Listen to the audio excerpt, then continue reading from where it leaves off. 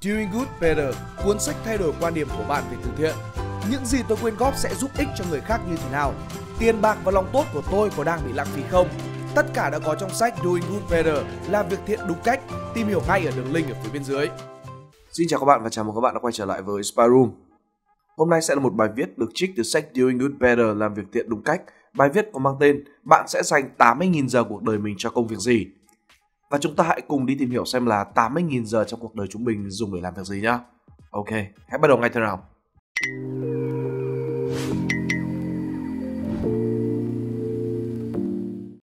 Khi Peter Hufford bước vào năm cuối đại học Danation, anh cần phải tìm ra câu trả lời cho câu hỏi mình sẽ làm gì với cuộc đời này. Lúc ấy, anh mới 22 tuổi, học chuyên ngành khoa học chính trị và tâm lý.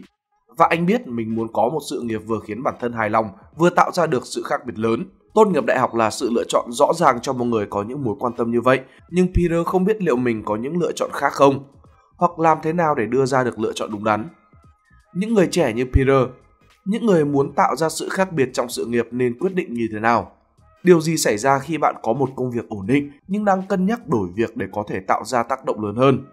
Có nhiều đến chóng mặt những con đường phát triển sự nghiệp khác nhau, mỗi con đường đều có những mặt tích cực và tiêu cực. Đồng thời, quyết định này là một loại rủi ro. Lựa chọn nghề nghiệp là lựa chọn về cách bạn sẽ dành hơn 8 vạn giờ trong suốt cuộc đời cho một thứ gì đó.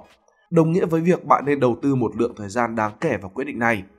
Nếu chỉ dành 1% thời gian làm việc của mình để suy nghĩ về cách dành 99% còn lại, điều đó có nghĩa bạn sẽ dành 800 giờ hoặc là hơn 20 tuần để làm việc cho quyết định nghề nghiệp của bản thân.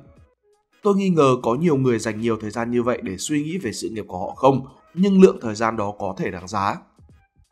Có nhiều cân nhắc liên quan đến việc lựa chọn nghề nghiệp phù hợp với bạn và không quy chiếu này đảm bảo rằng bạn để tâm đến những yếu tố quan trọng nhất. Bạn nên tự hỏi, làm thế nào để cá nhân phù hợp với công việc này? Tôi sẽ hài lòng đến mức nào cho công việc này? Tôi có hào hứng với công việc không? Tôi nghĩ bản thân có thể gắn bó với nó trong một khoảng thời gian đáng kể không? Tôi giỏi đến mức nào hay tôi có thể trở nên giỏi đến mức nào trong loại công việc này so với những người khác và so với những nghề nghiệp khác mà tôi có thể chọn?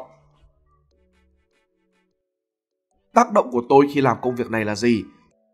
Tôi có thể ảnh hưởng đến bao nhiêu loại nguồn lực? Cho dù đó là sức lao động của tôi, con người hoặc ngân sách tôi quản lý, số tiền tôi kiếm được hay nền tảng công cộng mà tôi có quyền truy cập. Công việc này sẽ đóng góp bao nhiêu phần trong số những tác động mà tôi có thể tạo ra trong cuộc đời sau này?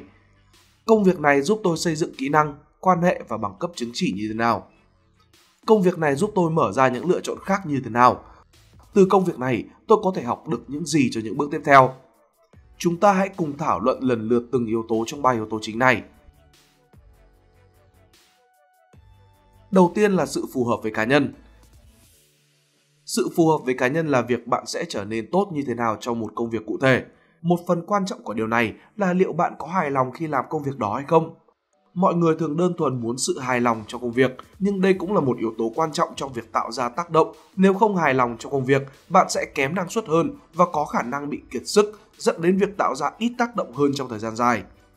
Tuy nhiên, chúng ta cần cẩn thận khi nghĩ về cách tìm ra một công việc yêu thích.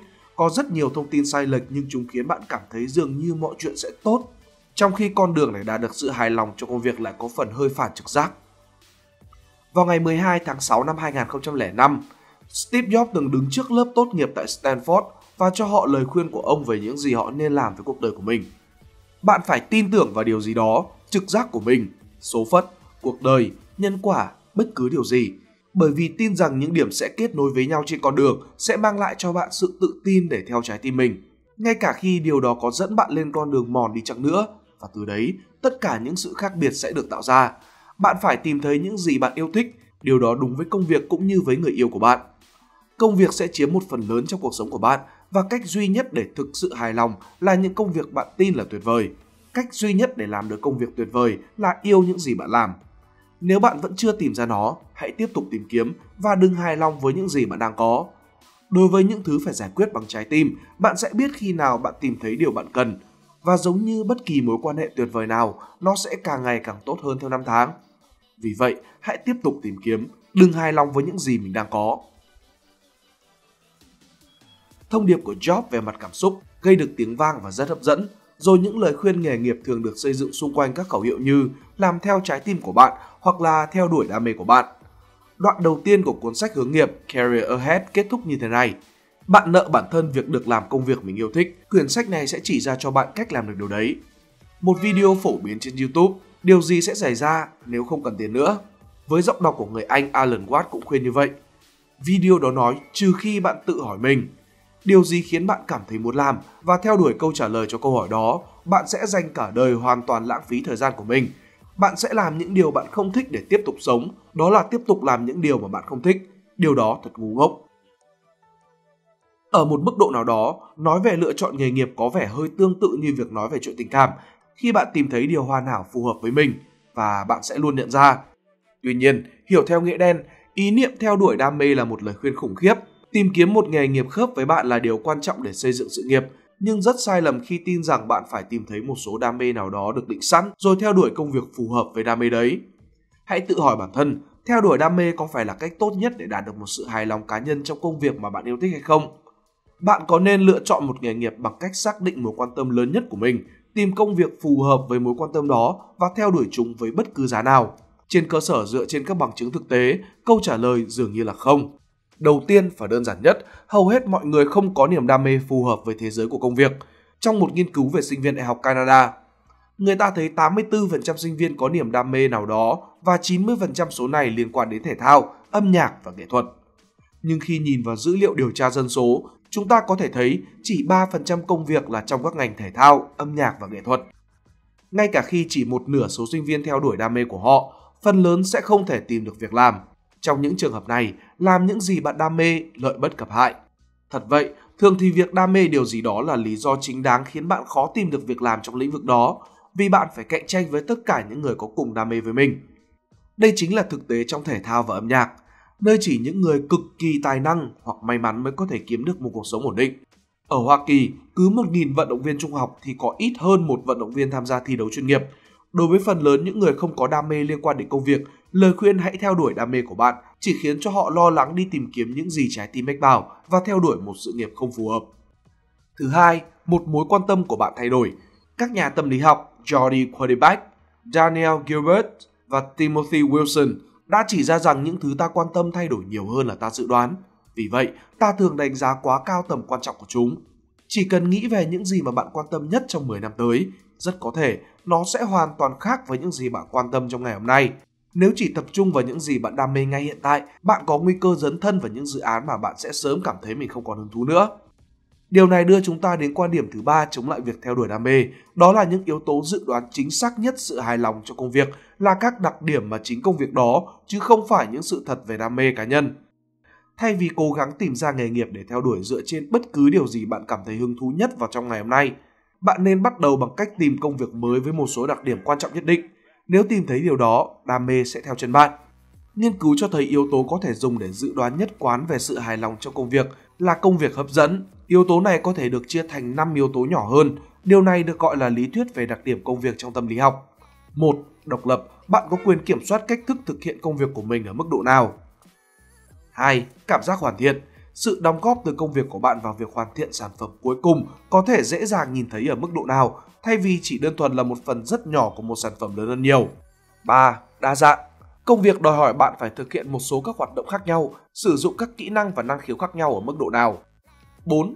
Phản hồi từ công việc. Có dễ dàng để biết bạn đang thực hiện tốt hay là kém không? 5. Đóng góp. Ở mức độ nào đó, công việc của bạn tạo ra sự khác biệt, được định nghĩa bằng những đóng góp tích cực cho hạnh phúc của người khác. Giống như sự hài lòng trong công việc, mỗi yếu tố này cũng tương quan với động lực, năng suất và cam kết với nhà tuyển dụng của bạn. Hơn nữa, những yếu tố này tương tự như những yếu tố cần thiết để phát triển được khả năng làm việc sâu. Trạng thái thú vị khi đắm mình vào trong một thế giới hoạt động đến mức bạn hoàn toàn không bị phân tâm và quên đi thời gian. Điều mà một số nhà tâm lý học đã lập luận là chìa khóa để có những trải nghiệm thực sự thỏa mãn.